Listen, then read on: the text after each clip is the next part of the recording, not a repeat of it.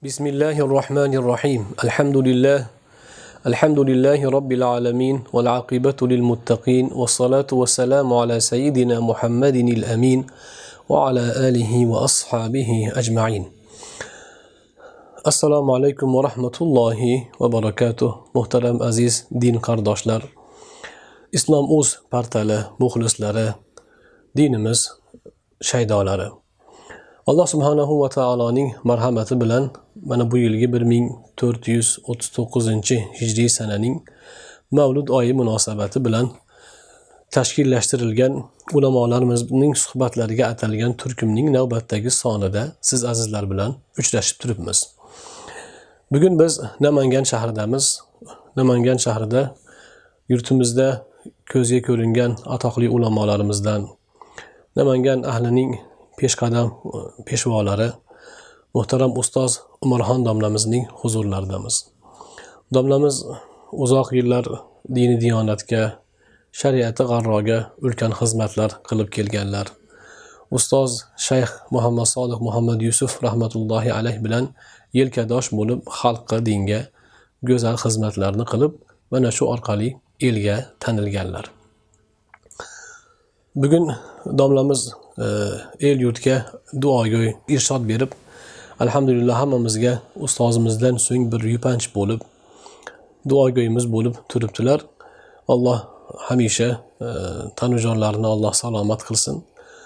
Ustozdan bugun e, mana shu mavlud oyi munosabati bilan rasuli akram alayhissalotu vassalomning siyratlarini o'rganishga bag'ishlangan ushbu turkumga o'zlarining bizga siz bilan biz mo'min musulmonlarga ilingan so'zlarini izhor qilib bayon qilishlarini iltimos qilamiz. Odatdagidek suhbatimizning e, asosiy sarlavhasi rasuli akram alayhissalotu vassalomning siyratlarini o'rganishning bugungi kundagi ahamiyati. Va bu siyratni o'rganishda ulamolarimiz an'ana qilib qoldirgan mavsumlardan biri. Mana shu mavlud oyi mavsumida siyratni o'rganishda e, bu oyning ahamiyati.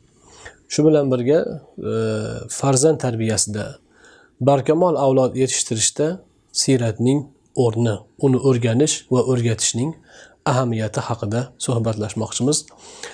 Domla alloh salomat qilsin e, xushvaqt qilsin hamisha. Amin. Endi e, hammalarimiz sizni suhbatingizga muntazirmiz. Yuqorida aytilgan sarlavha ostida mo'min musulmonlarga bu islom uz portali xodimlariga ilingan islom o'z portali muxlislariga ilingan so'zlaringizni baham ko'rsangiz. Bismillahi rohmanir rohim alhamdulillah. Vassalatu vassalamu ala rasulillah. Ammo ba'd. Alloh subhanahu va taologa hamdu sanolar. Janobi sarvari olam sollallohu alayhi vasallamga salotu durudi salovatlar nozil bo'lsin. Muhtaram aziz qadrdonlar bu mavlud oyini sanoqli kunlar qarshisida turibmiz. Allohning marhamati sizu bizni payg'ambar alayhissalotu vassalomga ummat qilib ulug' buyuk ne'mat bilan olloh siylagan. Bu kunlarga alhamdulillah salomat yetib kelyapmiz. Hammalarimizni qalblarimizda payg'ambar alayhissalotu vassalomga bo'lgan zavqu shavq muhabbat jo'sh urib turgan albatta. O'tgangi ulamolarimiz alloh rahmat qilgan bo'lsin ustozlarimiz xususan salaflarimizni ataylab sahobiy ikromlar tobiinlarni davrlarida bo'lmagan bo'lsa ham shu ummatni o'zini payg'ambarini yaxshi tanisin deb mavludiga alohida imomi barzanjiy rahmatulloh alayga o'xshab bir necha yaqin ikki yuzga yaqin risolalar yozilinib ummatga shu nazm ravishda yodlashga ham oson tushunishlikka ham bilishlikka qiziqarli bo'lishlik uchun ajoyib bir payg'ambar alayhissalotu vassalomni to bobolari adnongacha yetib borib sahih rivoyatlar bilan yetib borgan tarixni ummatga taqdim qilishgan. Shu jumladan bizni diyorlarda imom barzanjiy rahmatulloh alayhi mavlud asosida shu yozgan nazmiy bayonlari bor.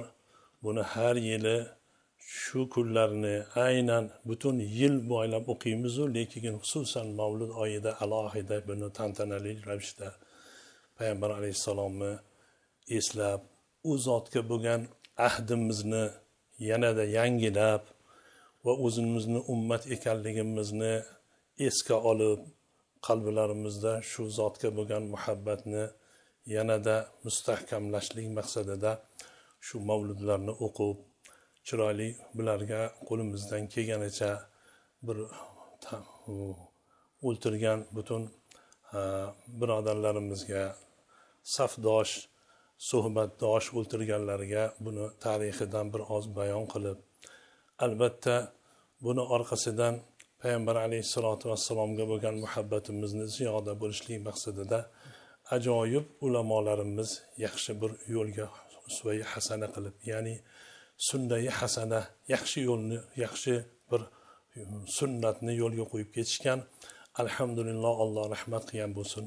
Biz har yili buni nishonlab ajoyib bu borada o'zimizni payg'ambar alayhissalotu vassalomga bo'lgan hop ma'rifatimizni yana ziyodalashlikka sabab bo'ladi. Ilohim hammalarimizga shu kunlarni yanada zavq shavq bilan yana shu narsani yaxshiroq chuqurroq o'rganishlikka alloh hammamizga himmat bersin. Birodarlar siyrat deganda o'zi asli sunnatni tushuniladi tariqatni tushuniladi. Bir insonni yashash tarzi hayotidagi yashash tarzini anglanadi. Lekin ko'proq siyrat deganda tarixni tushunamiz. Tarixni muhimligi shu bugungi kunimizda umuman inson hayotida o'ta muhimligiga qur'oni karimni o'zi bizga tayyor bir dalil. Chunki qur'on uch qismga bo'linib muhkam oyatlar mutashobih oyatlar va shu bilan bir qatorda o'tgan ummatni o'zini hayoti qissas butun qissalarni xudoyo taolo bayon qilgan. Bu endi bu tarix bu. Sizu bizga to qiyomatgacha shu juda ham bir patabiruya ulil albob deb xudo qur'onda buni ey aql egalari bulardan sizlar yaxshi ibratlaninglar deb siz bilan bizga o'tmishdagi ummatni tug'yon qilganligi o'zini o'zligini tanimaganligi robbisini tanimaganligi jihatidan tug'yon qilganligidan kufr mana shunaqa yo'llarni tutganligidan boshlariga necha turli balolar kelganligini alloh subhanahu va taolo qur'onda sizu bizga bayon qilgan. Bu mana shu tarix bu o'tmish bu. Hozirda mana oynai jahonlarda ham hozirgi kunlarda ajoyib bir havasingiz keladigan bir yangiliklar moziy degan rukun asosida ho'p o'tmishimizni ajdodlarimizni bobolarimizni butun olamga ajoyib bir ustoz bo'lib har bir fanda ustoz bo'lgan bobolarimizni tanitish bilan ajoyib onai jahonda ham yaxshigina bir chiroyli hammamiz uchun muhim bo'lgan juda ham bir uzoq yillar shu unutib qolgan narsalarimizni eslatib chiroyli xizmat qilishyapti. Xususan yurtboshimizni alloh o'zi qo'llab quvvatlasin parvardigor o'zi madadkor bo'lsin olib borayotgan ishlarida eng o'sha bemiteni minbarida. Dunyo qarab turgan butun olam qarab turgan o'sha minbarda o'zlarini ajdodlarini kim ekanligini bizlar kimlarni zurriyoti ekanligimizni baralla nihoyat darajada faxr bilan bayon qilganliklarini butun olam tomosha qilib ko'rib guvohi bo'ldi. Achchiq haqiqat bo'lganligi uchun buni hamma tan oldi. Qolaversa mana shundan bir yana bizni yurtimizga bo'lgan qiziqishlar bizni millatimizga bo'lgan bizni ajdodlarimizga bo'lgan o'rganishlar kun sayin jadallashib yanayam chet ellardan shu diyorlarimizga har xil shu har bir sohadagi kishilar kelib o'rganishyapti. Bu bizni bizni xalqimiz uchun juda ham ajoyib turtki bo'ldiki hammamiz o'zimizni ajdodlarimiz tariximizni o'rganishlikka juda katta bizga shu da'vat bo'ldi. Qolaversa man arafa nafsahu faqad arafa robbahu deganlardek inson qachon o'zini tanisa keyin robbisini tanigan inson o'zligini yo'qotganda hamma balo mushkul hamma kulfat inqiroz hamma narsa shuni orqasida ekan. Bosib o'tgan hayotimizda yaqindagina mustabid tuzumda bu narsani biz ko'rib o'tdik. Bitta yosh birinchi sinfga chiqqan bola oktyabr nimasini taqinchog'i nimalarga значогini taqib olib lelim mobomiz deb o'shalar. Faxr bilan shuni attirishib shu narsani yosh bolalarga o'qtirib shunaqa qilindi. Vaholanki u qayerdayu? Bu buni ajdodi. Kimu u? Kim? Shunchalik mustabid tuzum qayerga borsa mustamlakachilarni ishi shu o'sha xalqni o'zini tarixini unuttirishlikka harakat qilar ekan ularni vazifasi shu ekan. Shuni orqasidan ko'zlagan maqsadlariga to'la mukammal erishar ekan. Hozirgi kunimizda alhamdulillah allohni marhamati bo'lib bu o'zimizni o'zligimizni tanish ajdodlarimizni tarixini yaxshi o'rganish o'sha zotlarni endi yaxshilab o'rganib o'shalar butun dunyoga peshvo bo'lganliklari butun ilmu fandayu tabobatdayu astronomiyadayu hamma hamma fanda yuksak darajada butun olamga muqtado peshvo bo'lganliklarini alhamdulillah mana hozir o'rganib yetib qalblarimiz alhamdulillah xudoga hamdu sano aytib endilikda o'zimizni yopgan yo'limizni topganday bo'lib turibmiz. Inshaalloh bu borada ajoyib yaxshi ishlar kun sayin bo'lyapti mana dinimizni yaxshi o'rganish ayniqsa qur'on allohning kalomini qur'onimizni yaxshi bir ta'limiga unga yo'l qo'yish masalan butun madrasa mahad bormi o'qish muassasalarini hammasida yaqindagina yaqin ikki kuncha bo'ldi mana buni yangi qarorlar ham yangi bir haligi olti oy kurs tashkil qilinganligi mana shunday bir ajoyib xursandchiliklarni tepasida turibmiz alloh subhanahu va taolodan umidvormizki buni orqasida o'zligimizni tanishuv barcha barcha yo'qotgan narsalarimizni yo'lga qo'yilishlik inshaalloh shu bilan bo'ladi. Yaqinda bir bir kitob qo'limga tushdi. Hozirgi zamonni ko'zga ko'ringan olimlardan muhammad lotib al nobilsiy hafizahulloh. Ajoyib zot bu kishi. Ko'p mana iqra kanallarda ko'p ko'rib turamiz suhbatlarini eshitib turamiz. Labay suriyadan shunday shunday. Ajoyib bir ajoyib zot. O'sha kishini nimalari farzand tarbiyasi to'g'risida ham mavzuyimiz shunday ekan. O'sha narsa kitoblarini boshidayoq bir ajoyib shu bilan boshlabdilar ibora bilan. Har bir inson deydilar uch narsaga judayam haris. Har bir inson uchta narsaga judayam haris. U qaysi desa salomatu vujudihi kamolu vujudihi va istimroru vujudihi deb boshlabdilar kitoblarni mana shu hozir uchta gap uchta gap bizni mavzuyimizni to'la ravishda qoplaydigan gapda mana shu salomati vujudihi tamom inson borki o'zini vujudi mavjudligi salomat bo'lishligini umidvor bo'ladi shuni harakatida bo'ladi bu yerdagi salomat kasallikdan salomat bo'lishlik emas. U kasallikdan salomat bo'lishlik o'z o'zidan uni ichida bor o'zi. U bu ahamiyatga uncha ega emas bu narsa. Eng muhimi eson omon hayot tarzini allohni rizosiga muvofiq o'tkazib hayotini umr sarmoyasini shariatga muvofiq o'tkazib turib parvardigorni huzuriga yorug' yuz bilan borishlik hech bir haliginaqa baloga. U qaysi? Qabr azobi. Bir undan ham katta baloga mahshargohdagi sharmandachilik ollohni huzuridagi yuzi qorolik mana bulardan salomat bo'lish. Eson omon robbil izzani rizoligini topib va'da qilgan o'sha jannatga erishishlik. Mana bu salomati vujudihi shu. Bu bundan murod debdilar. Salomati vujuh nimadan nimadan bo'ladi desa olloh yuborgan shariatga amal qilishlik bilan bo'ladi. Uni o'rganib unga amal qilishlik bilan bo'ladi. Qachonki yaratgan parvardigorni inson tanib o'sha parvardigorni yuborgan qonuni asosida parvardigor bandaga salohiyatini uni ahvolini unga nima yoqadi nima yoqmaydi o'zi chiroyli belgilab bergan yo'l asosida hayot kechirsa kishi salomatlikka erishar ekan robbisini huzuriga salomat yetar ekan bu bilan inson demak shariatni ilmlarini yaxshi o'zini dinini yaxshi o'rganishlik bilan erishadi endi kamol vujudihi debdilar. Uni kamol vujudidan murod endi yuqoridagi salomati vujudida olloh buyurgan narsani qilib qaytargan narsalardan qaytish bo'ladigan bo'lsa kamoli vujudida endi navofil ibodatlarni ham mukammal qilish. Oliyjanoblik saxovatpeshalik qo'shimcha ravishda farzdan go'zal axloqlarga ega bo'lish. Eng yuksak darajada oliyjanoblik maqomlarda bo'lish. Bu bilan inson barkamollikka erishar ekan. Kamoli vujudiy. Bu bilan navofil ibodatlarni salafi solihinlarga ergashib ularni hayotlarini yaxshi o'rganib o'sha zotlarga qadam ba qadam qadam bosishlik.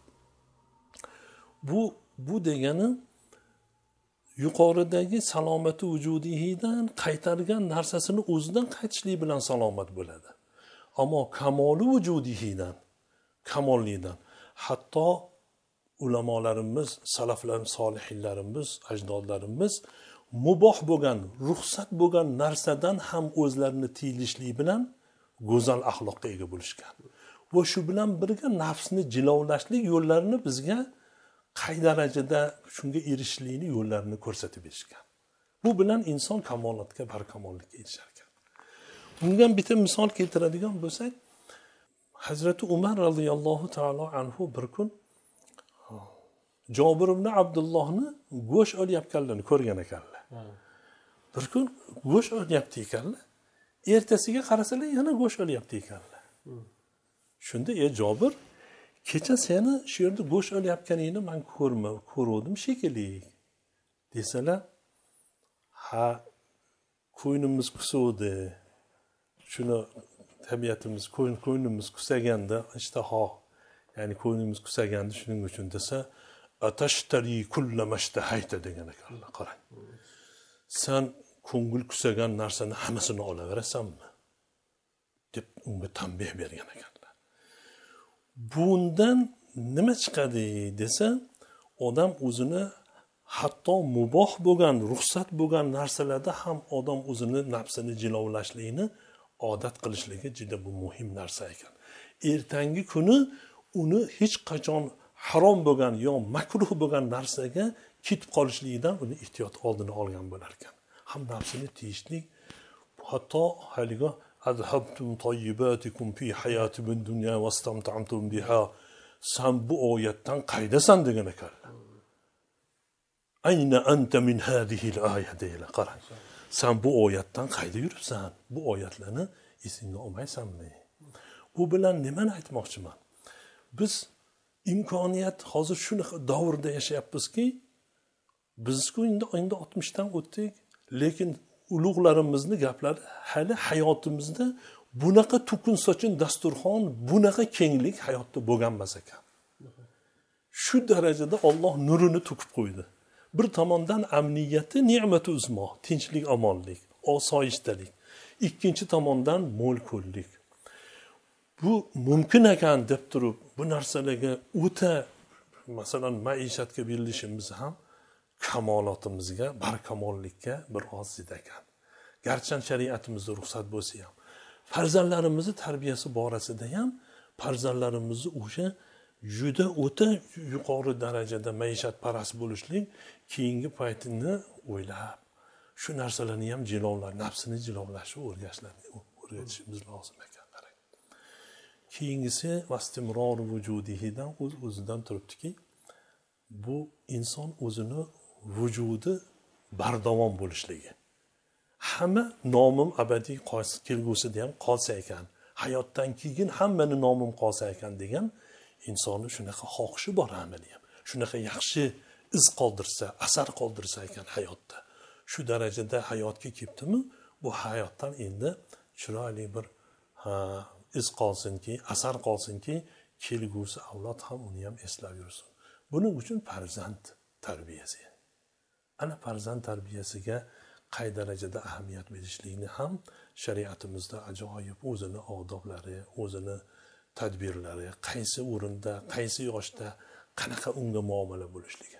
Hatto yosh bolalarni tarbiyasini aytibdilar. O'sha kitobda yosh bolalarni tarbiyasi nobilisiyda qarang. Ajib hayron. Moviya roziyallohu anhu shu mulozimlardan bir kishi u kishini oldilariga ziyoratga kirib turadigan qarab turadigan kishilardan birlari shunday kirsalar moviya roziyallohu anhu xalifalar qarang.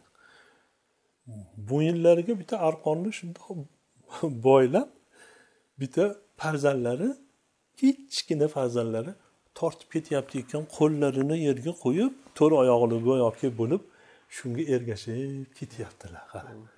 Mulozimlari iya siz xalifa bo'lib turib shunchalikmi? Go'yoki bo'yinga arqon solyapti helinga ergashib shuni hali bolani yupatib ketyaptilar. Shunda iya siz xalifa bo'lib turib shunaqa shunaqa qilasizmi shunaqa holatdamisiz desa voy haka degan ekanlar. Seningga holingga voy. Payg'ambar alayhissalotu vassalomdan man bir hadis eshitganman. Man kana lahu sabiyun falyatasobo deganlar. Kimni go'dak bolasi bo'lsa go'dagi bo'lsa o'shanga go'dak muomalasini qilsin deganlar payg'ambar alayhissalom. Qarang. Hatto go'dak bilan shu haligi bolani yupatib o'zlarini xuddi otni singarin qilib shunga haligi emaklab ketyapti ekanlar. Mana shu hadisga man amal qildim. Go'dak bolani yoshlik paytida ota onani mehrini qozonishlik uchun unga o'zini yoshiga yarasha chiroyli muomalalarni o'yinlarni har xil erkalanishlarni shularni qilishlik ham o'z navbatida o'zini vaqtida yuksak darajada ota onani mehrini nihoyatda shu qozonishlik bolaga qalbiga joylashlikka shu ta'limotlarni ham dinimizda qarang tavsiyalari bor. Hazrati umar roziyallohu anhu allohu alam farzand ko'rdingiz desalar ha nima dedilar rayhonatun ashumuho menga yetti yoshgacha go'yoki u rayhon. Go'yoki rayhondan bo'y olib hidlab shundan bahra olganimdek uni erkalab isqab undan man maza qilib rohatlanaman. Ammo yetti yoshdan o'n to'rt yoshgacha u menga xodim xizmatkor beminnat xizmatkor. o'n to'rt yoshdan keyin yo u meni do'stim yo meni dushmanim degan ekanlar bu degani balog'at yoshidan keyin u bola u yigit qaysi yo'lni tutadi? Iymon e'tiqod ixlos aqida o'zini dinini o'zini yurtini himoyasi shuni nimasida nihoyat darajada shunga layoqatli bo'lib shunga sazovor bo'ladimi? Yoyinki boshqa yo'l olloh saqlasin boshqa yo'lni tutib qoladimi? Unda meni dushmanimga aylanadi dedilar. Shunga o'xshab farzandlarimizni o'z yurtiga haqiqiy homiy yurtini avaylab asraydigan o'zini millati o'zini dinini haqiqiy darajada egallab o'rganib shunga xodim shunga homiy bo'lishligi nihoyat darajada muhim vazifalarimizdan biri ekan. Alloh subhanahu va taolo bu oylarimizni alloh muboraklik qilsin. Xususan mavlud oyini payg'ambar alayhissalotu vassalomni hayotlarini yaxshi o'rgansak u zotni oilaviy masalan borada jamiyat ichida o'zlarini tuta bilishlari o'zlari juda chiroyli bir namuna bo'lishlari har bir sohada mana shu narsalarni dinimizdan yaxshi o'rganib o'zimizni bir go'zal axloqqa ega bo'lib olsak bu kunlarni shukronasi uchun mana shu yurtni mana shu haqiqiy bir yurtni farzandi bo'lib farzandlarimizni tarbiyalab olsak inshaalloh hayotimizdagi asosiy bir ko'zlagan maqsadimiz va shuning uchun parvardigorni bir e, imtihoni uchun sinov uchun dunyoga kelganmiz. Asosiy majburiyatimizni vazifalarimizni a'lo darajada bajarishlikni shu olloh hammamizga tavfiqini bersin imkoniyatini bersin. Parvardigor. Rasuli akram alayhissalotu vassalomning sahobalarini ba'zilari ko'p ham ko'pchiligi ham yosh bolalar ham sahobalar bo'lganlar sahobalar ichida yosh bolalar ham bo'lganlar. Ana o'sha yosh bolalarga o'rgatgan odoblari o'shalarga e, qilgan muomalalarini masalan siyrat sifatida qabul qilib farzand tarbiyasida qo'llasak masalan. masalan. Shunga bir misollar eslasak bo'ladimi? Masalan. Payg'ambar alayhissalomni abu ummu salama onamiz bo'lganlar azvoji mutahorat onalarimizni ichida. Ummu salama onamizlarni umar degan o'g'illari bo'lgan. Umar. Shu payg'ambar alayhissalotu vassalomni go'yoki rabiblarida endi. U kishiniga uylanganlaridan keyin haligi umar payg'ambar alayhissalotu vassalomni o'z o'zidan rabiblari ya'ni u kishi tarbiyalaganlar uni. Shu bilan o'ltirganlarida juda bizni farzandlarimizga ham hamma bir chiroyli namuna bo'ladigan shu taom yeyishlik odoblarini unga o'rgatganlar. Ey g'ulom deganlar ey taom yeganda bismilloh degin deganlar birinchi. Keyin taom yeganda oldingdan yegin deganlar. Taomni oldingdan yegin deganlar. Shu shunaqa taom yeyish odob o'ltirish odoblari va uni bismilloh bilan ham oldidan yeyishlik va luqmani kichik olish hop va uni chaynash odoblarigacha hammasini o'rgatganlar. O'ng qo'lda yeyish. O'ng qo'lda yeyish o'ng qo'lingda yegin oldingdan yegin ha? Bismilloh bilan boshlagin va kichkina shu narsalar hammasi juda ham bizga ajoyib bir namuna bo'ladigan hozirda ko'p man o'ylayman. Farzandni e, orzu havaslar juda ko'payib ketganligini natijasida ko'pincha bolalarni o'z holiga qo'yib alohida o'ltirib alohida bir unga anundoq o'tirib anundoq yegin deydigan nimalar manimcha juda yam kam bo'layotgan bizni eng katta kamchilik xatolarimiz hozirgi kunda muhim narsalar deb o'ylayman.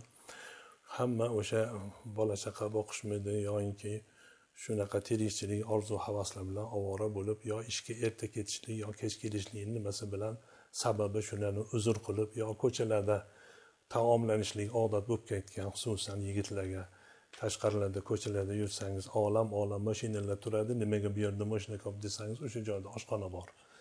Shunaqa bo'lib bir mahalda uyga keladi unaqa farzandlar bilan chiroyli bir dasturxonda o'ltirishu o'ltirish odoblarini aytishu unga bismillohni eslatishu uni qaydan kelganligi qanchalik ne'matligini uni bir robbil izza parvardigor yaratgan parvardigor buni yetkazganligi bularni aytishlardan anchalayin uzoqlashib qolingan. Shoyatki mana bu hozir e, o'zligimizni anglashlikni boshlashlik arafasida boshlab oldik. Xudo xohlasa bundan buyog'iga alohida alohida bularga ham bir e, vaqt ajratamiz degan umidimiz bor. Alloh hammamizga ilohim shunga nasiba alloh o'zi tavfiqini bersin ilohim yuqorida hazrat ustoz shayx hazratlari bilan qadrdonligingizni eslab o'tdik. Baribir mana shu gapni eshitgan har bir muxlis har bir mo'min musulmon ustoz haqida muhtaram domlamizni xotiralari qanday ekan nima bir bizga ilingan joylari bor ekan degan hayol o'tdi o'sha gapni. O'zimizdan ham o'tdi tinglovchilardan ham shu gap o'tadi. Hazratni endi bir Э, xotiralari o'sha haqlarida o'zingizni bir e, dil izhorlaringizni bir bizga ham ma'lum qilsangiz alloh rahmat qilsin hazratimizni endi. Butun hayotlari albatta biz namanganda u kishi toshkentda bo'lishligi biroz uzoqlik onan ponan biz suhbatlarda umuman majlislarda xizmatli paytimizda tez tez majlislar bo'lib turardi yig'ilish diniy idorada shularda ko'rishish va boshqa boshqa muloqotlarimizdan katta bir bizga taassurot qolgan narsalar shuki hazratimiz hozirgi zamon kundan kun battar degan bir qadimgi o'zimizni ota bobolarimizni gaplari bor. Har holda qiyomat yaqin. Biz aytayotgan salafi solihlarga ming ming yillab o'tib ketib qoldi. Hozir ming yillab keyingi davrda yashayapmiz. Bu degani qiyomatga yaqin bir zamonda bo'lsa ham lekin shu paytda o'zlarini kitobi sunnatga mahkam bog'lanib eli yurt deb duolari ajoyib edi. Aziz vatanimizni jannat makon qilgin. Qarang bu kishini duolari. Aziz vatanimizni jannat makon qilgin. Xalqimizni o'zingni rizolingni topadigan haqlardan bo'lishligini nasib etgin. Xalqni ma'rifati uchun xalqni bir o'qimishli bo'lib o'z dinini yaxshi o'rgansa ekan bir o'z bobosini chin merosxo'r bo'lsa ekan deb butun hayotlarini u kishi sarf qilib o'tdi. Butun bor imkoniyatlarini shunga sarflab men hayron qolamanki olam olam tom tom kitoblar bor hozir masalanda. Mana kitoblarimiz anchayin kitoblar bor.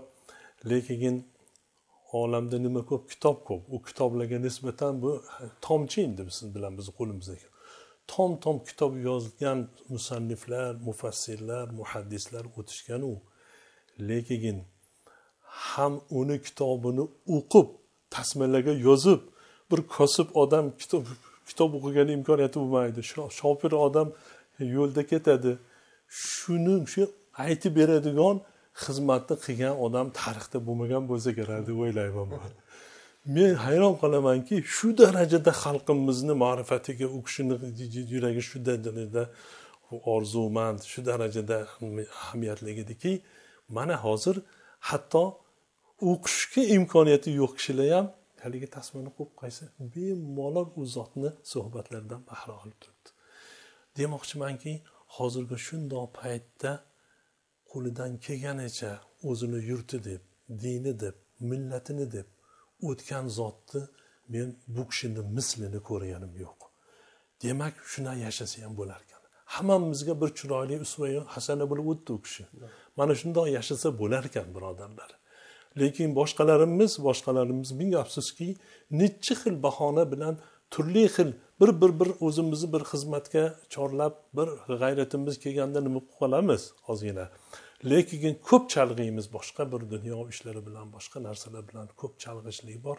Alloh sizu bizga ham endi o'sha zotni himmatlaridan xudo nasib qilsin. O'sha kishiga mana bir qancha shogirdlar chiqarib qo'yganlar o'z o'rnilariga qoyilmaqom hazrat hazrati qordomlamiz ham aynan shular jumlasidan. Bu kishiga o'xshagan bir necha o'nlab yuzlab desak ham bo'ladigan darajada shogirdlar hammasi iqtidorli hammasi ajoyib bir hammasi bel boylagan o'sha zotdan ta'sirlab o'sha zotni yo'llarini tutishlikka qalban nihoyatda bog'langan xizmatni qilib turishibdi. Alloh rozi bo'lsin. Bundan ham salohiyatlarini tavfiqlarini himmatlarini alloh ziyoda qilsin. Endi bularga barakotli umr bersin. Shularni ko'rib quvonib turamiz. Hazratni endi alloh rahmat qilgan bo'lsin. Bir qancha qiyinchilik tashvishlar ham bo'lib o'tdi musibat. Hayotda endi tashvish musibat bu albatta sinov dunyoda ekanmiz kishini boshida bor bu narsa? Ho'p hayot shunaqa murakkab ekan. Shu o'rinlarda ham bizga shu darajada namuna bo'ldiki tog'ni singani sabrli turdi bu kishi. Keyin hamma vaqt bizga yaxshi gaplari qaysi desa yaxshi bo'ladi deydilar hammasi yaxshi bo'ladi. Moshalloh hayron qoladigan ish shu o'rinda ham hamma vaqt asabiylashmasdan bizga ajoyib bir namuna bo'lib yaxshi bo'ladi yaxshi bo'ladi dedilar. Hayron qoldikki yaxshi bo'ldida shuni yaxshi bo'lishligini ko'zimiz bilan ko'rdik. Allohga hamdu sano bo'lsin. Hamma ishi ham oqibati yaxshi bo'lsinda oqibat yaxshi bo'lsinda oqibat yaxshi bo'lsa bu endi inshaalloh bu havoti amolino borku. Allohumma ajal xayra umri oxirahu. Parvardigor mani umrimni eng yaxshisini oxirgisi qilgin va xayra amali xavotimahu. Amallarimni eng chiroylisi xotimasi bo'lsin. Va xayra ayyomi yawma alqoka fihi yo valiyal islom va ahlihi sabbitni hatto alqok eng kunlarimni ham chiroyligi o'sha o'zimga yo'liqadigan kunim shu dunyodan o'tadigan kunim mening uchun eng ulug' kun bo'lsin deb payg'ambar alayhissalotu vassalom marhamat qilganlarini singarin oqibat yaxshi bo'ldi. Allohga hamdu sano bo'lsinki ajoyib hammasi o'z o'rniga tushib ajoyib bir ko'zlagan bu kishini ko'p orzulari mana shu kitob yozish shu xalqimizga shuni taqdim qilish orzulari edi. O'sha orzulariga yetdilar mana xalqimizga bitgan bitmas tuganmas ajoyib bir xazina qoldirdilar. Xudo xohlasa xalqimizni hidoyatiga xudo xohlasa sabab. Alloh rahmatiga olgan bo'lsin. Xudo o'sha zotlarni singari zotlardan bu qolgan shogirdlarga ham hammalariga shunaqa salohiyat shunaqa himmat shunaqa tavfiqni alloh ato qilsin. Jumladan janobingiz o'zlariga ham xudo taolo alloh muborak qilsin. Rahmat ustoz. Alloh e, hamisha vaqtimizga sog' salomat aylasin qimmatli suhbatlaringiz sermazmun e, ma'ruzalaringizdan maza qilib e, istifoda qildik alhamdulillah. Alloh bu suhbatimizni bardavom qilsin bu dunyoda ham va oxiratda ham. E, mana shunday ulug'larimiz solihlarimiz bilan birga bo'lishni hamma hammamizga alloh o'zi nasib aylasin. Muhtaram azizlar mana alhamdulillah ustoz umarxon domlamizdan ham mavlud oyiga doir va boshqa ushbu mavzuga aloqador mavzular e, masalalar xususida suhbatlarni oldik. Alloh subhanahu va taolo bu e, ma'ruzadan unumli foydalanib bunga tolmay amal qilishimizda o'zi madadkor bo'lsin. Alloh nasib qilsa kelgusi suhbatlarimizda yana boshqa ulamolarimizning e, mana shunday bir mazmunli suhbatlarini siz azizlar bilan baham ko'rishga harakat qilamiz. Alloh o'zi tavfiqini hidoyatini yor aylasin. Vassalomu alaykum va rahmatullohi va barakatuh